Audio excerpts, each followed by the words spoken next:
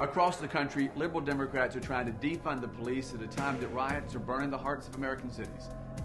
I'm Josh Kimbrell, Republican candidate for South Carolina Senate District 11.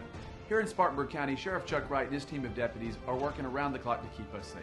We're going to stand with the police in South Carolina. We're not going to seek to defund Sheriff Wright and his team. We're going to back them. We're going to fund them. We're going to support them.